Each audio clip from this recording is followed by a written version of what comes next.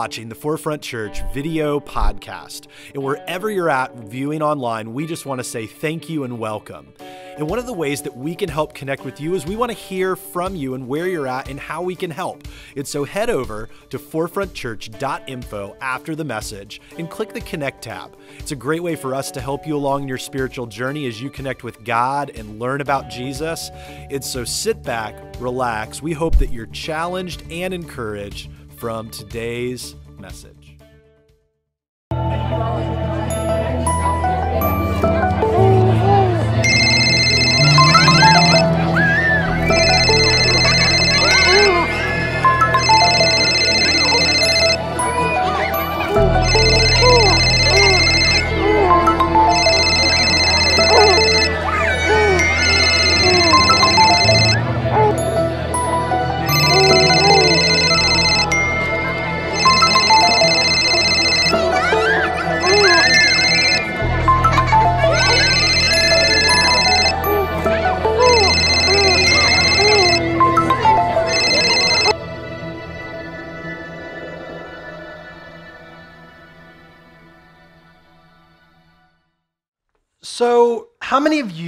As you drive around your neighborhood and you've noticed this, there's that one house that just honestly looks like they have done absolutely nothing to it. It's not kept up, things aren't going well uh, for it, and you have questions about what's going on there. How many of you guys have that house in your neighborhood?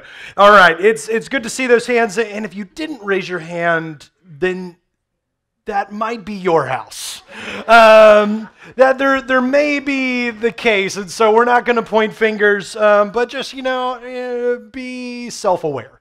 There's definitely those moments where, and it happens in our neighborhood as well, we actually live next door to that house in the neighborhood for, for quite some time when the people were living there. You would look at it and the lawn wasn't kept very well, and then it would grow and grow and grow, and you'd see them walking out. You go, Hey, how's it going? And he knew that I was a pastor, so you can't probe too much because I'm like a professional Christian, and how I word this may not go well because I'm looking at him like, Bro, you're it's like, Hey, how's it going? Hey, what do you got planned today? And I'm hoping one of the things is, Hey, I'm going to mow my lawn. He's like, Ah, nothing. I'm just going to hang out. Like, Oh, cool. And, um, and so you would see the flower beds, and they really, it was misrepresented because there were no flowers involved. And um, there was overgrowth and stuff and you just kind of and it, it really was not from a you know from a judgmental side it was just kind of like why? Like what's going on there? And i had the opportunity uh, at one point to kind of get an inside glimpse into the fact that it was not just something that was happening from the outside that there was something bigger was leaving one day with the family and saw uh, a gentleman that was uh, had fallen down in his driveway. And so I stopped and said, "Hey, sir, are you okay?" Helped him. He's like, "No, I'm not." A much older gentleman. They were taking care of him. It was the parent of one of the people living there. So, hey, can I help you inside? And as I helped him inside, that's when it hit me. The uh, immediately smelled uh, the smell coming from the home and. Uh, and saw it was not like at the level of like intervention or like uh, even some of the shows like uh, hoarders or whatnot but it was pretty it was pretty intense and as I helped him kind of around and got him in his chair, puts on his machine, and are you okay, sir? I'm okay, okay. And, uh, and I don't know that he could even verbalize what had happened. I don't think when they come home, if, if he if he could even tell them that I helped him into the house uh, far further along in years. And so get in the car and immediately tell my wife, hey, I'm, we got to call somebody. So we call Adult Protective Services, like, hey, this isn't okay. Like he's not in a good spot and this isn't healthy for him. And so a couple weeks later go by, and there's a, one of those like dumpster things in the driveway, and they're cleaning out the, the house. And so we see that people have visited, and because I'm sure that he wasn't able to even articulate it. Like we were still on good terms because you never know like what's going on. And so I say hi to him, whatever, and he says hi. And so I walk over as they're cleaning out stuff, and I said, "Hey, um, it looks like you got a lot going on." He's like, "Yeah, it's just overwhelming. There's a lot of stuff, and um, man, it's just difficult to wade through it all. And honestly, it's gotten so bad, like inside the house and, and even in the garage here, like at some point, I just don't even want to do any of it, you know? And and I didn't think to myself in that moment, man, this guy's lazy. What he was saying as we're talking and we're having this conversation, what he was really saying is like, man, I'm I'm overloaded. And it's moments like that in this gentleman's life and, and in your life that we even do this series. And we started this a few weeks back where we wanted to look at, especially getting into the holiday season. We're getting ready to celebrate Thanksgiving this week, and so hope that you enjoy your Thanksgiving. You maybe have you're maybe traveling to family, and you're like you're excited, or maybe you're traveling to family, and you're like. me. like you're just you don't want to go or you have family coming in that you maybe feel that way or you're excited but there it, this is kind of ushering in the season where many people feel like the weight is too much to bear and it's a reminder as we get to the end of the year and we get into this moment of the things that we enjoy, the things that we feel we've kind of lost along the way. Uh, the moments where we just go, man, that isn't traveling with me into this next year, and that's hard, and I'm processing that. And so it's a difficult time where we can feel very overloaded. And we started in the first week looking at our work in kind of the task driven society where we got to get it done and we got to work hard, which is true. We should work hard, we should be diligent in that. But that shouldn't be our focus of our worship. That our job is like the thing. And then we talked about the healthy boundaries to be someone who has a job or has tasks or has things to do, but that God is the one that we strive to honor in all that we do. And we have healthy boundaries. And that the second week we talked about our thoughts, the ways that we can mill over things and almost cripple ourselves by getting so wrapped up in our head about the things that we're doing, the things that we're succeeding, the things that we're failing at, that it almost overwhelms us. And we talked about basically having a demo day where we would wreck all those thoughts and take them captive and think about what's true about what God wants for you and I. And Dan last week did a phenomenal job talking about our schedules and how busy we are. We kind of wear that as a badge of honor. And then all of a sudden, like everything hits the fan, and we hit that emergency button that he had sitting up here. And we just go, man, ah, what's happening? It's overwhelming. And go, man, could it be that we need to dial it back and look at moments to press pause and see the outliers in advance and know, you know what? I can only take on this much, and this is how much my bucket can get filled. And if there's anything that goes over that, I just can't do that. I'm going to have to let somebody else do that. But I know for me, I can't process it that way. And so we're going to do this. As I was talking with that guy, the next door neighbor, and he was sharing some of this stuff, I didn't think that in the state that he was in, he was dealing with laziness. But as he began to unfold it, what I started hearing was early on, in the onset stages, as he saw things, there was a little bit of, I can wait to get to that. I can wait to get to that. And then all these things started piling up, and it went from laziness to feeling overloaded. Then he just goes, There's no way I can handle all this. And he was buckling under the pressure. And we want to look at today this concept, this idea, this lifestyle of laziness and does it honor God? Does it honor God to move in that way? And if it doesn't, how can we overcome some of those things? I love the way that Thomas Edison puts it. He shares with us that we often miss opportunity because it's dressed in overalls and looks a lot like work. And I think that's true. I think there's things in our life that we just go, man, I'll eventually get to that. And then when we see that there could be movement, we go, oh, I want to. And we go, ooh, that looks like it's going to be difficult. Now, before we get into all this, I know that it, the temptation is to look at, and this is generational. The temptation is to look at a generation younger than you and say, oh, well, we know, but and, if you've ever thought that way, especially about millennial generation, um, my wife is a part of that millennial generation. I just miss it by a few years. And, I want to encourage you, if you're a believer, especially, but in just general humanity, man, we got to stop with the bashing of the generation that comes after us.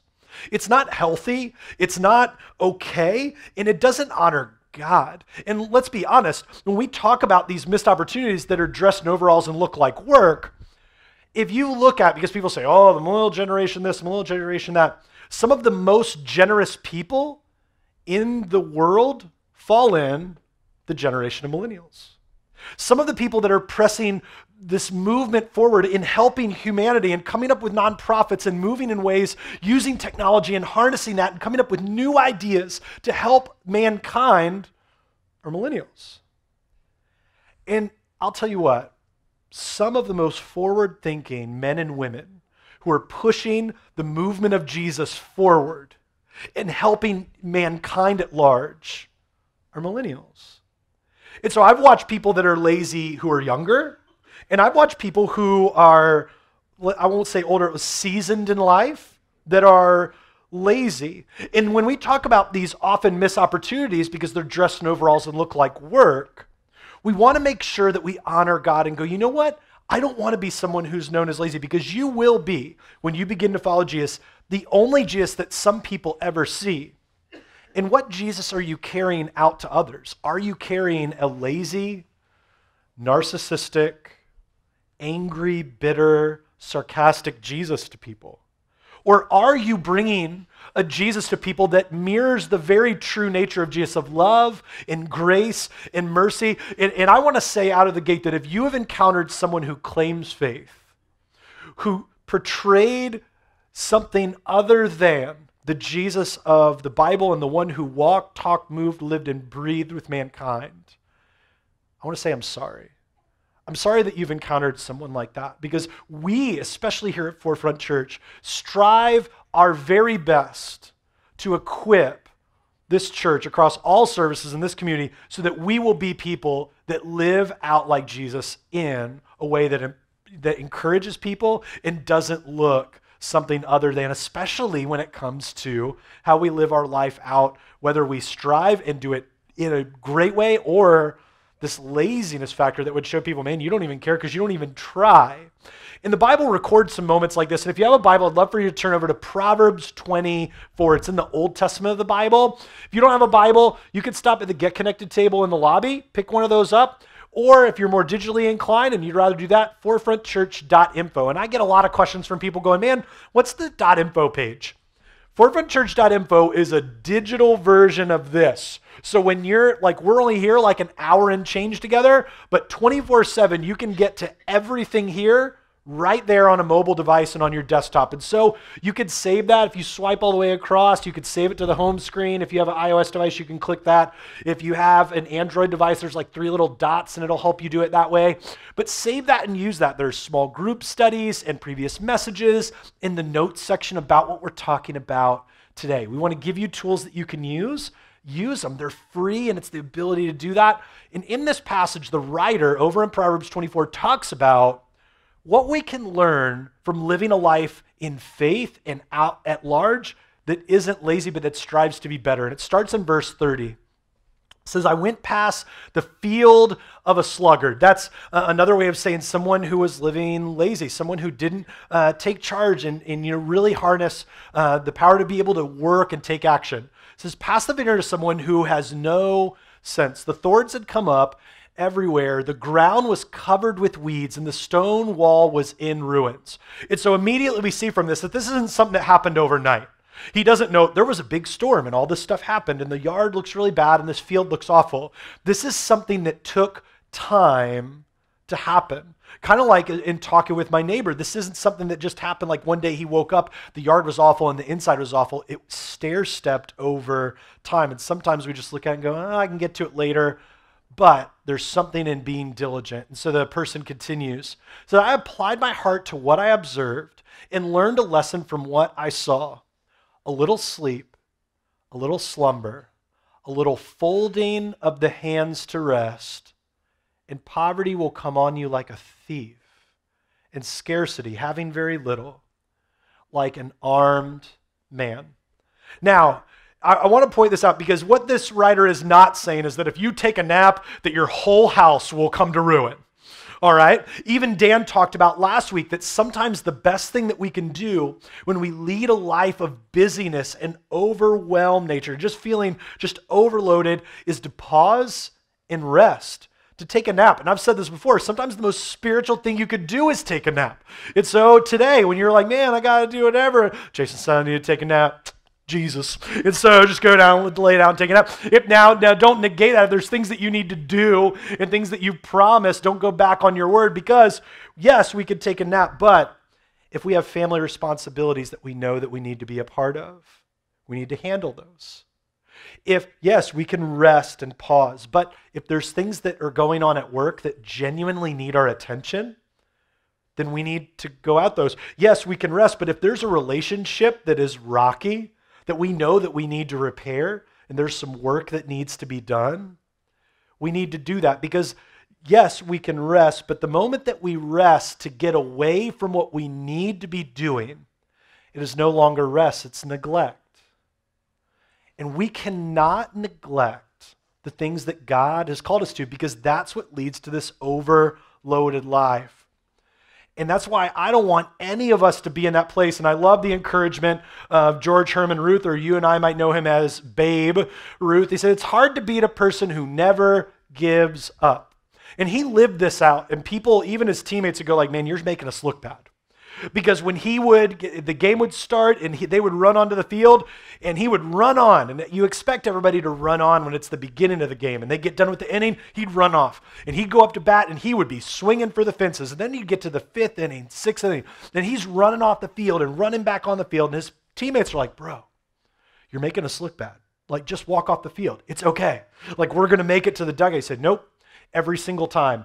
Game after game, season after season, running hard and going hard. People like, why do you do this? Said, every single game, there's somebody sitting in the stands. It's their very first game. And I will not disappoint someone that's looking at me saying, man, I've heard about this guy. I want them to know that this matters. And when it comes to faith, there are people watching you. Remember, we said you may be the only Jesus if, as you follow him that anybody will ever see. And they're watching you your family, your friends, your neighbors, the people that see you because you have that forefront sticker on your car and you're changing lanes erratically and driving entirely too fast. And then you pull up to the restaurant and you're wearing the forefront shirt and you walk in and you're angry about your meal and you say all kinds of things and they go, huh? And you turn around to leave and they see forefront.org on the back and they go to the website and go, oh, yeah, it's one of them. You see, you and I leave a legacy wherever we go and how we move and everybody. And we do not need to give up the person that hustles, the person that works hard. Now, I'm not saying, because we talked about in the first week, worship work, but that you and I would be someone that sets an example. That when they see us, they go, man, that person says they love Jesus, and they actually do it. Unfortunately, at the world at large, the people that don't follow Jesus expect Christians to be lazy expect Christians to be judgmental. Prove them wrong. And that example, as we move through that, is no better illustrated in, in my life, and I've watched this happen, than when you enter the restroom. How many of you have ever walked into the restroom and there was no toilet paper? Yeah, some of you, you're like, I guess I'm allowed. Are we allowed to say that in church? Yes, you're allowed to say that. And there was a time, and I remember it vividly. I, in a department store, I walked in, and there was no toilet paper. And then you're just like, uh oh, what do I do? My wife was working. I have nobody to call. And so you immediately do what you should do, which is look under the stalls and make sure that there's no one there. And then you have to do the waddle of shame, where you move quickly to the next stall and you get there, but you're not even check. You don't have time to check and leave the door open. You run in, and you close the door and check, and sure enough, there's no toilet paper at that one. And so then I'm like, all right, you do the second look, you do, and of course, that the third one I finally found, toilet paper, all is right with the world. And uh, I let an employee know. But man, there, that's okay. Like if I don't find any, that doesn't make me as mad is when I go into the restroom and I find this right here. Because what this says is somebody thought about you and they thought this was enough to handle business right here. And this happened to me recently at my house. Uh, one of our, our, daughters walked in, did what they needed to do, left, and, and I knew because I heard what was going on. And then I came in, I sat down, and then I looked over, and there was this. And man, I was I was heated, boy. And I wasn't going to call on anybody. They had been downstairs playing, so I'm like, you know what? I'm going to figure it out. I'm not going to explain to you how, but I figured it out. Okay, I'm a grown man. I can handle business, and so I figured it out. But I did not leave the role that I found in there. I left this and I went back into my room to do some work at the desk. Then I hear somebody walking into the restroom, same person that left it there before. And I wait, and I wait, and then I hear, Daddy! Like screaming, Daddy! And I'm just smiling because I know what's going to happen. And so I walk up to the door, and I'm standing outside. Hey, yes. I need some toilet paper. I'm like, oh, you do? I said, I need you to look to your right. I look to my right. There's, there's only a little slice. Said, Do you know who left that there? Who's the last person to use the restroom? You were. And I said, Oh, really? I said, Who was using the restroom before me? And then I hear, Oh. So, yeah. Can you give me some though? Like for real, whatever. And I'm not going to torture her. So I throw the toilet paper in there and she comes out. And I said, I want to talk to you for a second. This has nothing to do with, with the roll of toilet paper that you left. So this has everything to do with how you treat people. She's like, "What?" And this is this these types of things we try to encourage, and you'd be like, "Man, living under a pastor's roof, it's like a sermon all day long." Um, and uh, but my hope is because here's what I know: when I did years of student ministry, and I'd talk to parents 16, 18, early 20s, and they go, "Man, if I could go back, I would change some things." And so she walks out of the bathroom. I said, "Hey, the the, me asking you for and bringing the toilet paper and all this stuff and then the lesson, hey, uh, it has nothing to do with the toilet paper roll. It says everything to do with you thinking about the person that comes next. It's like, I hope that when you're at class and you go to the paper bin for your class and you find there's one sheet left, that you're going to go to your teacher say, hey, we're going to need to refill this because we need to do whatever. That when you're in gym and the teacher says, ah, we're all done, and every kid leaves the playground ball there, that you stop and pick it up. And she immediately goes, well, the gym teacher's supposed to do that. And I said, but I want you to help. And I said, eventually you're going to get to a job and there's going to be somebody who asks you to do something. And I want you to do it so well that the person behind you goes, I didn't even have to come in on my next shift because you did it well. And then when you come along a coworker and they need help, that you'll come alongside them and your boss is going to see that. Your boss is going to ask why. And way back here, you were learning lessons about what it meant to think about other people before yourself. And I know this is simple, and I'd rather you learn this lesson around a little roll of toilet paper than when you get to your marriage and you wonder, I need them to do, and I need them to whatever, and I need that you would stop and you learned enough lessons along the way to go, how can I care for, serve, and be selfless to them? So this has nothing to do with the toilet paper. It has everything to you about you working hard and not being lazy. I don't want you to be lazy in your relationships and in your work. And let's learn that now so you don't have to learn it later when times are hard. You see, if we don't, overloaded laziness leads to spiritual bondage. It leads to you and I being shackled. And my hope and prayer is that we will choose action over atrophy sitting still and letting the muscles just begin to decompose and deconstruct and just get weak, and instead daily taking action in who God designed us to be. Because the Bible continually records that living a life of laziness not only impacts our faith, but impacts the ripple effect of the world around us. And over in Proverbs, the sluggard's appetite is never filled, but the desires of the diligent are fully satisfied started writing in my notes that once you embrace laziness, you collapse under the weight of it because one moment gets lazy, I'll put that off. The second moment gets lazy, I'll do that later. The third moment gets lazy. Before too long, you are so heavy with stuff that you need to do, you almost invite more laziness in because the idea of working your way out feels so overwhelming that if we had just handled it then, and it's the same thing that happens in our habits, in our movement with God, and in our treatment of other people. We just go, I'll eventually get to that. Now, I'm not saying you can't have moments where you put stuff off. Remember, there's work and there's tasks, and we need to have boundaries. So I'm not saying don't, you know, put off folding the laundry. You can do that because you need to get down on the floor with your kids. If you're worshiping getting the task done instead of family, instead of being with people, that's a problem. But there needs to be a balance of thought, which is why all these come together to say, you know what, I'm going to choose the moments that matter, and I know that I can't be lazy in certain things because there's a ripple effect. Diligent hands will rule, but the laziness ends in forced labor. And so the idea of just letting it pass and letting it pass and building up and building up, I'll get to it because I don't want to work, actually gives you more work. It's more difficult to dig your way out.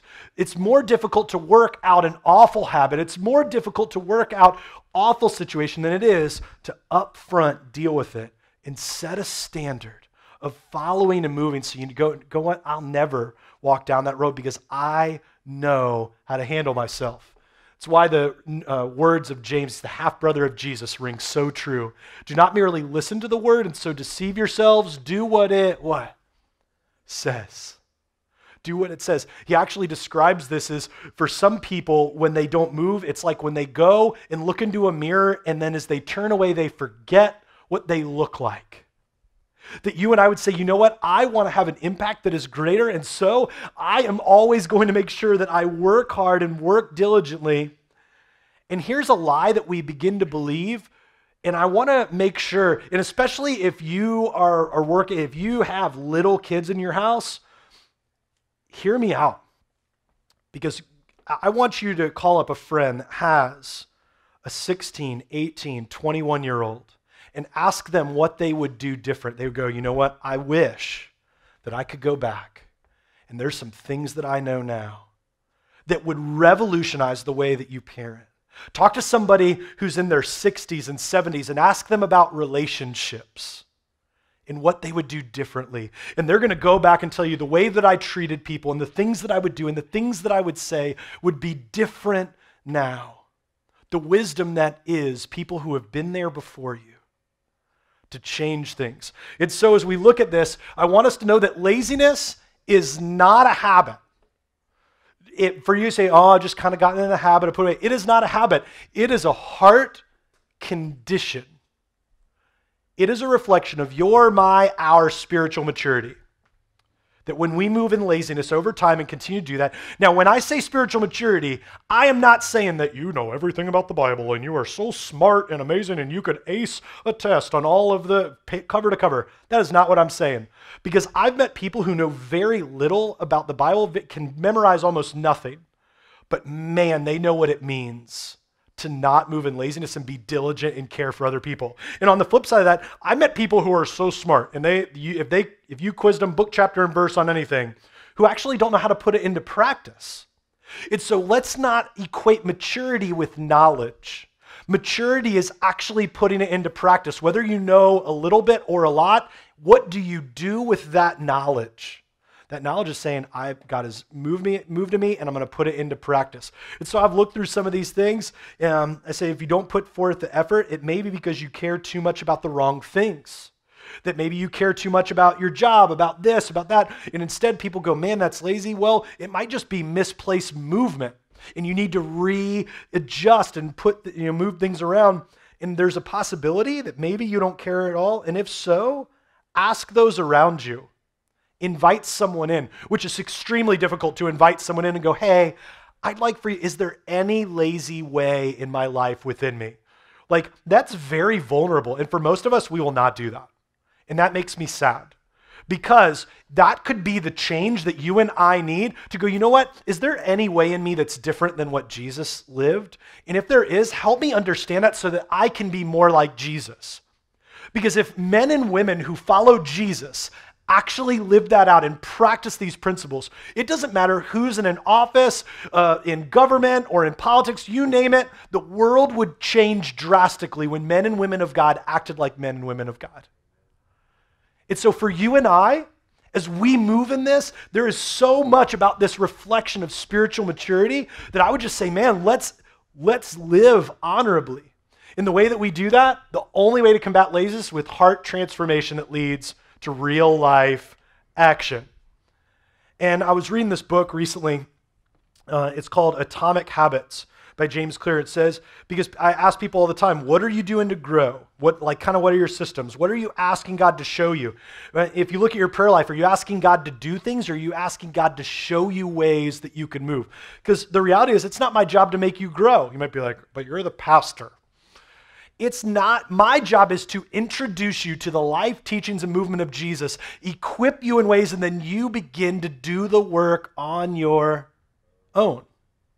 It's just like when you first get a baby and you're like, I got a baby. What do I do? I got to feed him and do whatever. Eventually, they like grow up and then you're like, oh, that's so cute. I can't wait for you to talk. And then they start talking. You're like, who told you how to talk? And like you run through and do all these things. And then they grow up and they get their own house. And it'd be like them calling you in their 30s going, hey, could you come over and give me a bottle.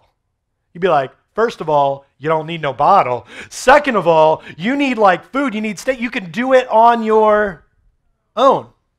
And for many people, they believe that, man, I just need all this extra stuff. And I would encourage you that in this movement of heart transformation to real life action, part of that is being able to take a hold of your growth and begin to do these pieces on your own. Yeah, that's why we need one another, encourage one another. But the only person that can begin to do that and make that commitment is you. And that's why it says you do not rise, in this book that I was reading, you do not rise at the level of your goals because everybody's going to be making New Year's resolutions in you know, a couple months. Well, I'm going to do this, I'm going to do that. Goals, he says, you do not rise at the level of your goals, you fall to the level of your systems. What is the system that you're putting in place to not be lazy and follow Jesus? Well, I'm going to follow Jesus. Okay, how are you going to do that? Well, I'm going to read what he did. Okay, you're going to read what he did. Well, then what are you going to do? I I don't know. We'll go, hey, let's talk about something that you could do. He said to love. How are you going to love people? What's that going to look like? He said to you need to practice generosity. What's that going to look like in your life? He said that you need to be diligent and not be lazy. What are some ways in your life that you're being lazy and we can combat that? How are we going to do that? That you have a plan so that you don't have this laziness that leads to spiritual bondage, but you're going to choose action over atrophy. And nothing, let's, you know, we, we, we started off, we were talking a little bit about this bathroom thing and these lessons that we learn. There's some lessons that we can learn in this, and there was one that happened recently. Um, my daughter, and if you have a little person in your home, you know, like talking about like four under, if you've never had this, talk to somebody who has. They think that the toilet is like this just void of whatever that they can throw everything in. They just see it and they see people throw stuff in. They go, that's how it works. And they will throw everything in. And by everything, I mean everything. And so one day, one of the little people in our house decided, I'm just going to keep unrolling because the toilet paper's right here and the toilet's right there. And I can just pull the toilet paper and throw it all in there, all of it. And so they did almost an entire roll. Well, no one ever walks into the restroom and thinks, hmm, I should probably check the toilet to see if someone has emptied an entire roll in there before I sit down. Like you just don't, that's not your normal thinking until it happens. And so, sure enough, one of the other kids walks in, does what they need to do, and then remember that same Daddy? I hear it, Daddy, Daddy. They're yelling, and I'm like, what in the world? And I get to the door, hey, how can I? Don't come in because then you're going to see stuff and oh i don't want you to see but the toilet is not going down it's only going up and it's almost to the edge and whatever i'm like well i have to come in to help you like oh but don't say anything about it because i don't want to do it i'm like fine i'm not going to say anything. Like there's so many because my kids know like if it relates to the bathroom or bugs call daddy. Mommy can handle like everything else because she's a superstar but like when it comes to that she's like mm call him. And so i hear this i go in and i I'm like, what happened? I'm like, I don't know. There's whatever. And I see all this toilet paper. So I know. I was like, it was your, it was your other sister. Don't worry about it. And I was like, well, uh, why didn't you use? And I look at the plunger and I pick it up, which by the way, this is brand new and um, and never been used. And so I said, there's this plunger. Why didn't you use that? She's, I don't know. I don't know how to use this. All right life lesson. Let's show you how to use this. And so getting there, and I'm like, you're going to do the thing all goes down. She's like, whoa, that was super easy. I will, like, now I know how to do that. I said, yeah. And so took the plunger by the handle, hand it to her. She takes it. Says, hey, now you know how to do this. You don't need my help with this anymore. The next time it happens, you can do it on your own. You see, for many of us, we just want somebody to keep doing all these things for us. And it and I think it moves from even laziness to neglect. That we want somebody to do do stuff for us and, and not, it's not a generational thing, it's a heart condition thing. That we would say, you know what, I want to follow Jesus and someone's given me the tools, and so what will you do with those tools? Will you just sit and do the same old thing you've always done, or will you take action with those? Because it will revolutionize your life. I remember I was probably 18 years old when things started to transform in my life, when I started learning about these things, even though my parents took me to church for years, that God was doing something different. And it was not about the knowledge that I had, it was about putting it into practice and going, you know what? I want my life to be like those people that I've seen. And those people that I was seeing, they were taking hold of it and they were not lazy, they were moving in action. What if you were the hardest per- person, hardest person uh, working in the room when it came to your marriage, when it came to your parenting, when it came to your friendships, when it comes to your job, when it comes to being a neighbor, that everybody, and I'm not saying to draw the attention to you, that when the people see your life, they go, man, there's something about you. And you go, man, I just God changed my life, and, and I'm not going to be lazy. I'm going to work hard. We want to give you every bit of the tools possible. But you're the only one that can choose action. My prayer is that you choose that over atrophy so that people can see Jesus through your life. Thanks for tuning in to the Forefront Church video podcast. Our hope and prayer is that this has left you encouraged and challenged you in your faith. And you might have some questions and some ways that you want to figure this out, and we want to help with that. Head over to forefrontchurch.info, and there's a couple different ways that you can connect click the Connect tab and let us know how we can be praying for you or a staff member can be contacting you this week.